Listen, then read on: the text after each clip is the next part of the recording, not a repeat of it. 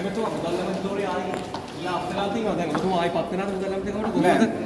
එහෙම වත් විශේෂ නෑ අපි දැන් ජනාධිපතිතුමා අගමැතිතුමා පක්ෂයේ ඔක්කොම ආරාධනා කරා මේ කැමති කෙනෙක් ඇවිල්ලා මේක බාරගෙන කරන්න කියලා. දැන් කවුරුනේ කෙනෙක් ඉන්නවද ඇමතුමා ඔබ දන්න එක්කෙනෙක් නෙවෙයි. 113ක් නෙවෙයි. දැන් ඔබතුමාගේ පක්ෂයේ අනුකම්පාවක් ඉවත් වෙනවා කියන්නේ ඔබතුමාලා අපි පොඩ්ඩක් නෑ නෑ අපේ කවුරුවක්වත් ඉවත් වෙලා නෑ. ඒ කියන්නේ ඕන ආණ්ඩුවේ ස්වාධීනතාවක් තියෙනවා කියලා කියන්නේ ඒක අපි ඉවත් වෙනවා. අපි ඔය ඉති ඉස්සෙල්ලා ස්වාධීන වෙලාදී අපි කොහොමද ස්වාධීන පක්ෂයක්. කියන්නේ ඕන එක්කෙනෙක් නිදහස්ව අපේ සටන් පාටය තමයි පක්ෂයේ වෙනස්ව හිතන්න බියනවන්න කියලා.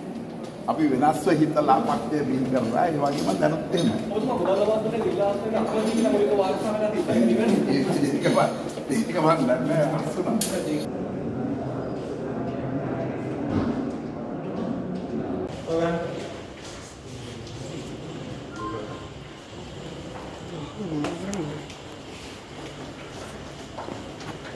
ඇමතුමා මොනවාට තීරණයක් ගත්තද? දැන් දීලා කිව්වේ.